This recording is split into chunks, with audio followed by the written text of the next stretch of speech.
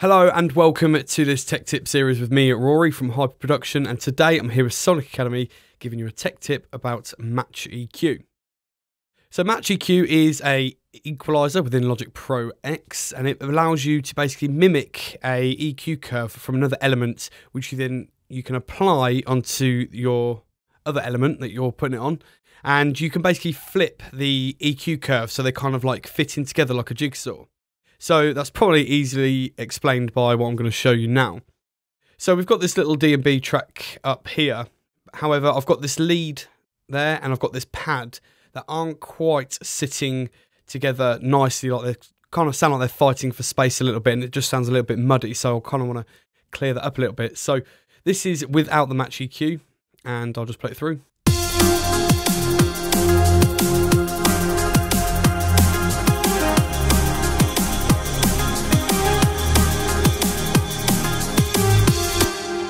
Okay, so then we've got the pad there and the lead. Let's listen to those two isolated.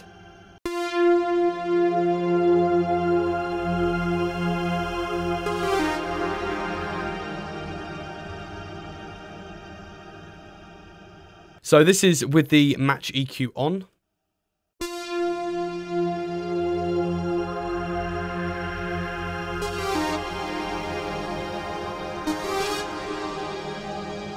So you could just hear them each, or that lead especially, just sitting on top of that pad because we've got that match EQ on. So, and also that reverb's kind of cutting through the mix a little bit better as well, down to the match EQ. So, let's start this again. I'm going to click no plugin on there, and we're going to open up another instance of the EQ.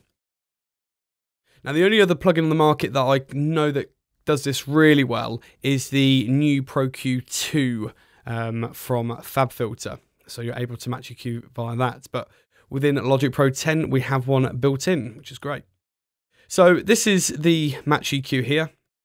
So it's going to show you a current curve of what just basically on this track. Then when you click on the sidechain to then select what other element you want to EQ against, it will then start showing that within the reference toggle there as well. And then obviously you click match to match that EQ curve. So Let's select our pad. Now, the great thing is with the new or the later updates, I think it came in 10.3 with Logic Pro 10, is the ability to actually use Match EQ against MIDI instruments as well. Like you weren't able to do that, but now you are. So if you look at the bottom here, we've got instances and instruments of basically MIDI, whereas before you could only do it on an input or an audio track. So that's great. So what we're going to do now is just play through this. You're going to see the EQ curve from the lead, and then we're going to click reference, and it's going to start listening to the pad.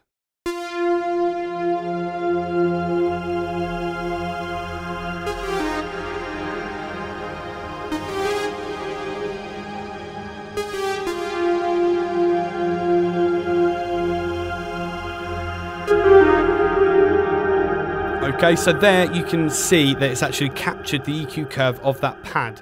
So obviously when the lead synth wasn't playing and the pad sort of swelled in, you could see that the waveform within this sort of visual spectrum analyzer was starting to engage. So you're probably wondering, well that's all well and good because it's actually adding a lot of the frequencies there, so it sounds even more built up now if we listen to it. So that's basically copying the EQ curve of the pad. So the magic with this is that we need to flip it round using this dial here. So when we drag this down, it's actually going to flip it over just like that. Now, the art with this is that you don't want to be too abrasive with it. You don't want to make it seem too obvious. You want to be quite subtle with it. So it might be quite tempting to think that if you drag it all the way down, it's going to fit in perfectly when it's not, because you can see a huge spike here where it's going to be adding a lot of high end and you're cutting out a lot of the mids as well. So it's actually going to start sounding a bit dull. So what we want to do is actually just dial it back a little bit. But what we can do is actually change around with the smoothing. Now what the smoothing dial down here does is actually sort of really nitpicks into the individual frequencies, which you'll see in a minute. So it relates to these curves here. Okay, so then if we click smoothing that way, it's going to go even smoother. But then if we dial it back, you can see it going even more in depth with the curve. So that is great. Now we basically have the EQ curve flipped over from the pad onto our lead, and this is what it sounds like.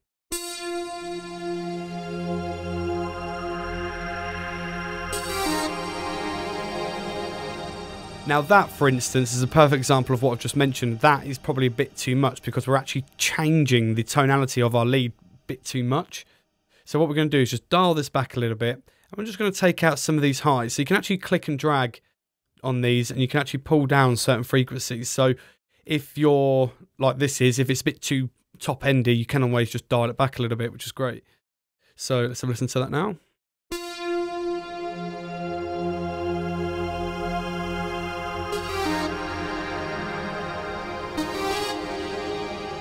and then without the match EQ.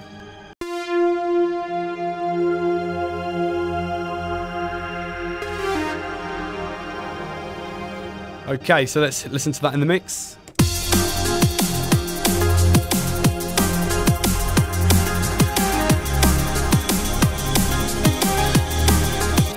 Okay, great. So it doesn't only just work for synths there's another use that I've got for this within this little project here as well, and that's actually our percussion track going against our snare. So you can see on this track here, we've got a match EQ. Now, if I turn that off and we just listen to the drums, then I'll solo the percussion snare.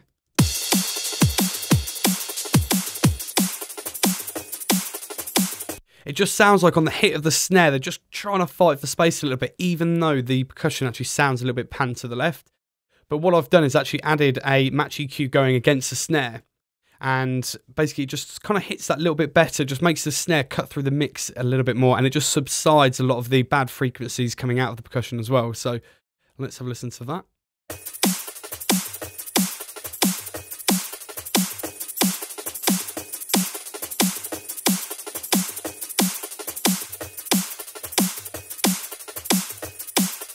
So it just helps support that snare and make sure that cuts through the mix. And it just obviously sounds like it subsides a lot of the sort of clashing bits from the percussion loops. And then we end up with this.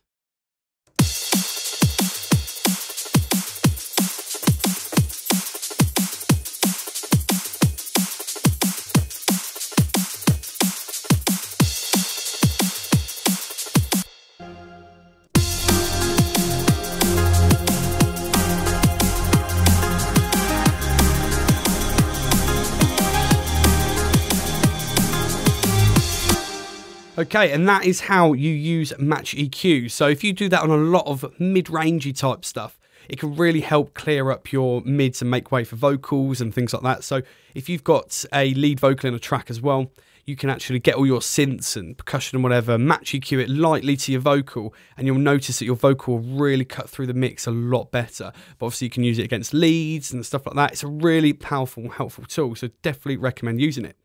So I've been Rory from Hyper Production. You've been watching Sonic Academy Tech Tips, and I shall see you on another video. Thanks everybody for watching, commenting, and indeed liking. We really do appreciate all the support we get here on our Sonic Academy YouTube channel. So if you found this video super useful, please We'd love you to hit the subscribe button. We update the uh, YouTube channel every week with new content. And if you want to watch some more relevant content, just click on the videos beside me.